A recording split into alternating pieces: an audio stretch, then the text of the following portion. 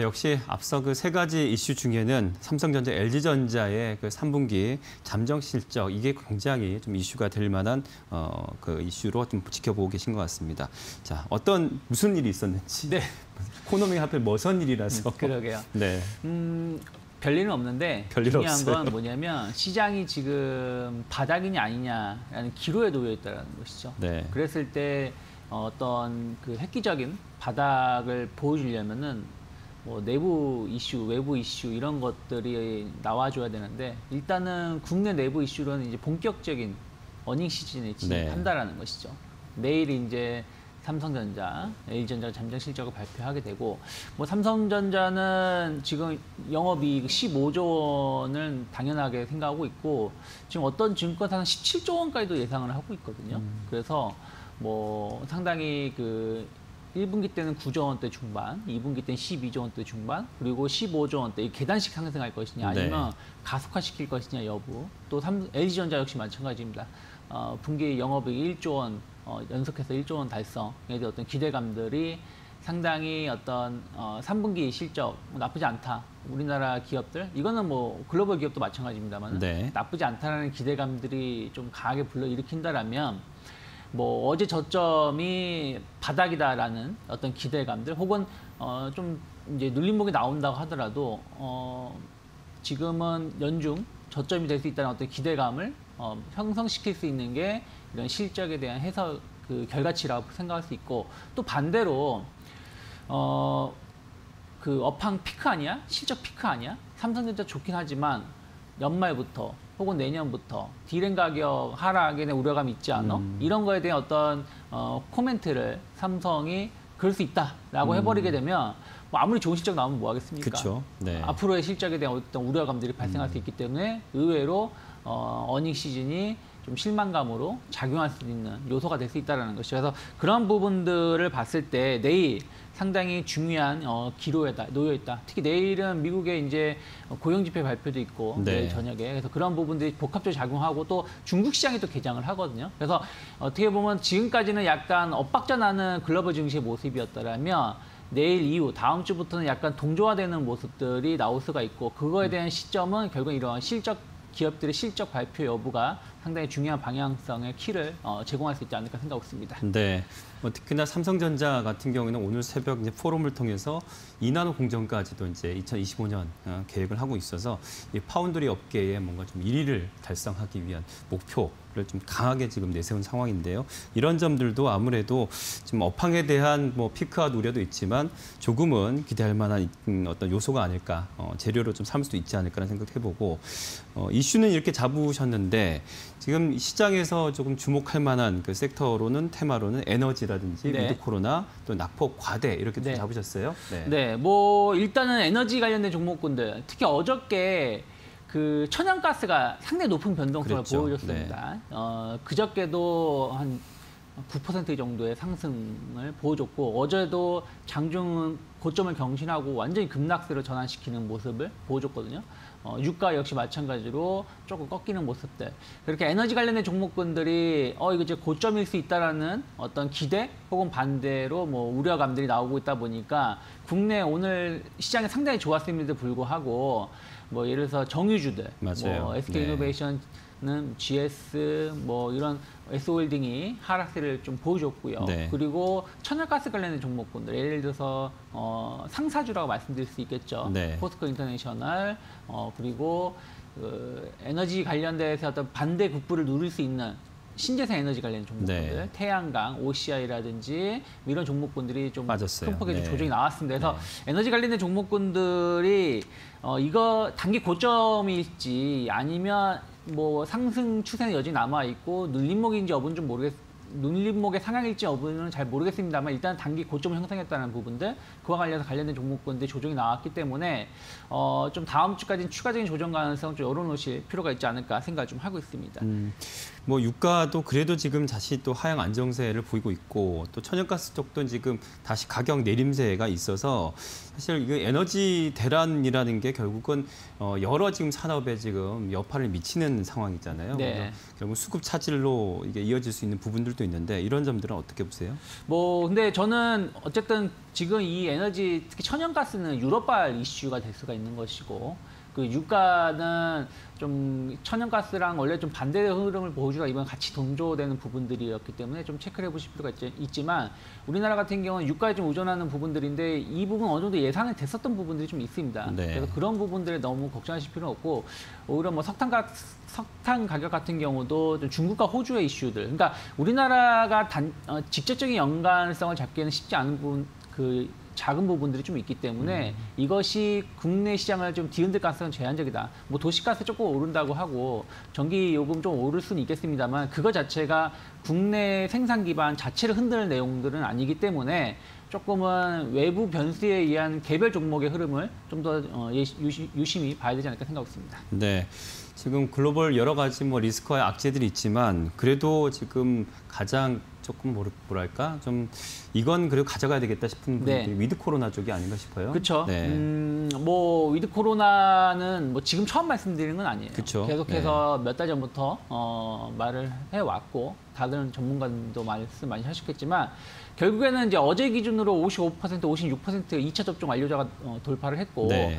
어, 현재 추세라면 뭐 한 다음 주 정도 된다라면 65% 70% 육박할 가능성이 높다 생각하고 있어요. 그러면 10월 말이 된다라면 어, 치, 완, 완, 그 2차 접종 완료자가 70% 돌파는 당연한 그렇죠. 것이고 네. 그럼 11월 늦어도 중순부터 왜냐면 이 접종하고 2주 이상 경과가 네, 필요하니까 11월 중순부터는 위드 코로나 백신 패스 어, 도입 이런 부분들을 어, 이제 관심을 가져야 된다 생각을 좀 하고 있습니다. 네. 어, 정부도 오늘, 오늘도 이제 4단계, 3단계로 좀 변화 가능성 그리고 다중 이용 시설을 어떻게 활용 이용할지 이런 부분에 대한 어떤 발표를 계속 하고 있기 때문에 네. 그런 측면에서 보신다라면 위드 코로나는 저는 어, 연말 장세를 좀 이끌 수 있는 시장하고는 좀 별개의 문제로 움직일 수 있는 어, 섹터가 될 수 있지 않을까 생각하고 있습니다. 네.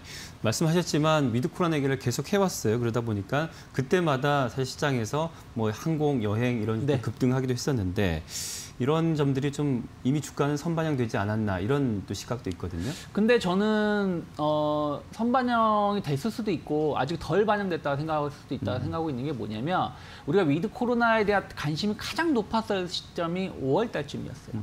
5월 뭐 4월, 5월, 6월 그때였는데 그때 델타 변이 바이 변이 바이러스 때문에 아예 그냥 전면 취소가 되지 않았습니까? 네. 그리고 그때 주가가 많이 하락을 했고 지금 최근에 올라오는 것이 그때 하락한 거에 한 반 정도 되돌림 정도밖에 안 나왔다는 것이죠. 물론 어떤 종목은 뭐 신고가 간 종목도 있긴 합니다만 그래서 전체적인 흐름을 본다라면 아직까지는 어, 위드 코로나 관련해 가지고의 상승 여력은 저- 여전히 남아 있다 생각하고 있고 네. 뭐 어저께처럼 시장이 무차별적으로 하락할 때는 같이 하락할 수밖에 없겠습니다만은 시장이 좀 안정화를 띈다라면 결국에는 앞으로 실적 개선에 대한 어떤 기대감들, 정부 정책에 대한 기대감에 관련된 종목군들이 치고 나갈 수 있고 그러한 섹터는 결국 위드 코로나밖에 없지 않을까 생각하고 있습니다. 네. 자, 이제 마지막으로 이제 또 보시는 게 낙폭 과대 좀 섹터가 아닐까 싶어요. 좀 최근에 워낙에 좀 가는 종목만 가는 테마주 성격의 움직임이 많이 포착됐기 때문에 이제 시장이 어제까지 워낙 많이 빠졌다 보니 네. 그때 빠졌다가 다시 이제 좀 상승 분위기가 있는 쪽들 이런 종목들에 대한 관심이 있거든요. 네. 어떻습니까? 뭐 솔직히 오늘은 어떤 의미를 부여할 수 있는 하루가 아니에요. 음. 시장이 많이 올라왔죠. 코스피도 2% 가까운 상승을 네. 보여줬었고 어, 코스닥 같은 경우는 더 많은 상승을 네. 어, 3% 보여주고 넘었어요. 있죠. 3%가 네. 넘는 급등을 보여주고 있는데 뭐 의미를 둘 수가 없는 게 워낙에 많이 하락하지 않았습니까? 그랬었기 때문에 반등다운 음. 반등 없이 특히 우리나라 같은 경우가 조정이 나왔었던 부분들이 좀 있어서 거기에 대한 되돌림이 나오는 것이고 그거에 대한 가장 첫 번째는 낙폭과대 종목군을 중심해서 올라오는 것입니다. 그래서 네. 오늘 올라오는 거에 대해서 큰 의미를 둘 수는 없지만 이 낙폭과대 종목군들이 연속성을 띌 수 있을지 여부를 좀 봐야 된다 생각을 좀 음. 하고 있습니다.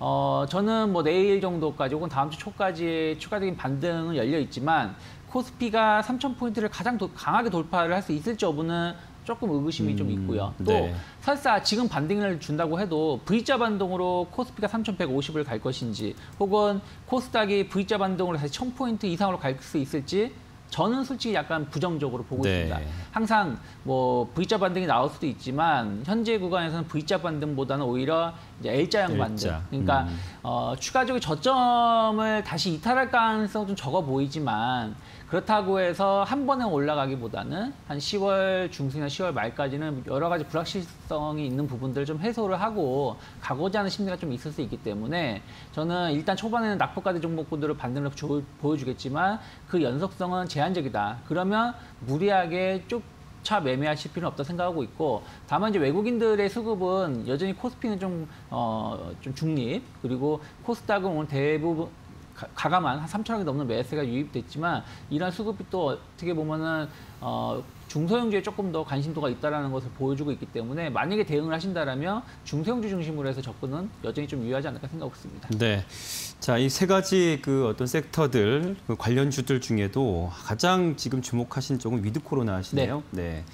좀 더 자세한 설명 좀 부탁드릴게요. 네, 뭐 with 코로나 쪽에 전 여전히 좀 관심을 갖고 있는 게 앞에서도 계속 말씀드렸지만 어쨌든 백신 접종자 70% 돌파되었던 어, 기대감. 것은 네. 당연한 것이고 이거는 뭐 이제 막을 수가 없는 게 이미 1차 접종자 거의 80%에 육박했기 때문에 뭐 2차 접종자는 70% 당연히 이번 달에 돌파할 것이고 네. 이제는 그 고등 학생들, 네. 어, 중고등학생들도 이제 저도 이제 또 문자를 받아 보니까 네. 이제 맞고 싶으신 분들은 이제 뭐 동그 구 보건소에 접수하라고 얘기 나올 정도이기 음, 때문에 네. 접종자는 더 늘어날 가능성이 높다 생각 좀 음. 하고 있습니다. 거기다가 이제 머크사의 어 그 치료제 그렇죠. 꼭 머크사께 아니라고 하더라도 다른 다국적 기업 회사의 지금 치료제 경구형 치료제를 지금 국내에서는 이미 선 예약이 되어 있기 때문에 그쵸. 이러한 것들이 겨울에 이제 어, 도입이 된다라면 뭐 코로나 관련해서는 너무 이제 걱정하실 필요는 없다. 백신도 있고 치료제도 있기 때문에 그래서 그러한 부분들이 이제 본격적인 연말 모임, 특히 이제 우리가 모임이 많은 시기가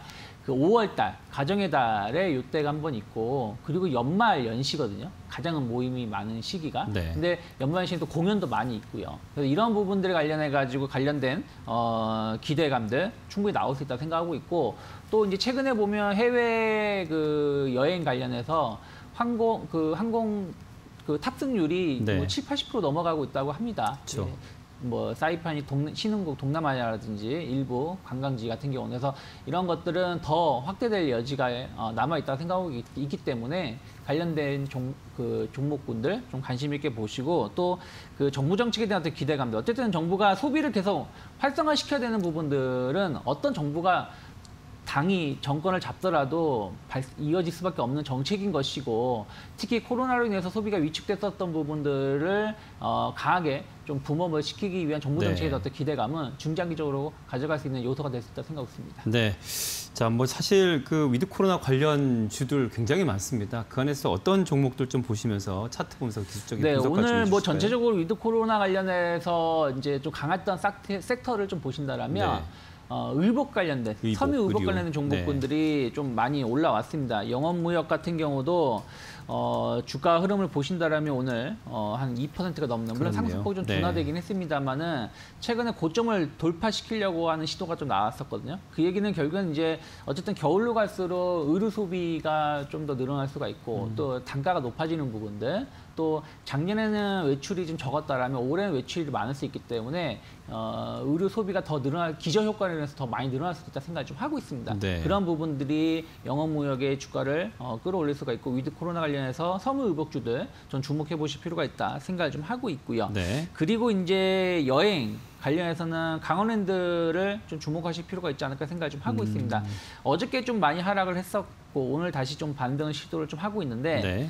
결국 이제 카지노 관련해 가지고 강원랜드는 내국인 카지노 그리고 외국인들도 접근할 수 있는 부분들이 좀 있고 특히 이제 그 여행을 국내 여행이 많이 가고 있는데 그 제주도도 많이 가긴 합니다만은 강원도에 상당히 많이들 가신다고 그쵸. 합니다. 네. 예, 그런 부분들이 강원랜드 또 연말 성수기 시즌에 대한 어떤 기대감들도 좀 있고 음. 또 with 코로나 간다라면 카지노 어, 입점 계획 관련해서도 조금은 변화 있을 수도 있고 음. 이런 부분들이 저는 카지노주를 선택을 한다라면 외국인 카지노보다는 외국인들이 국내에 입국하는 경우 간, 그것을 기대하는 것보다 국내 관련해서 어떤 모멘텀을 좀 더 이어가는 게 맞다 생각을 좀 하고 있습니다. 그래서 네. 강원랜드 약간 고점 돌파에 대한 기대감들 여전히 좀 남아 있다 생각을 좀 하고 있고요. 네. 그리고 제이 콘텐츠리도 역시 마찬가지입니다.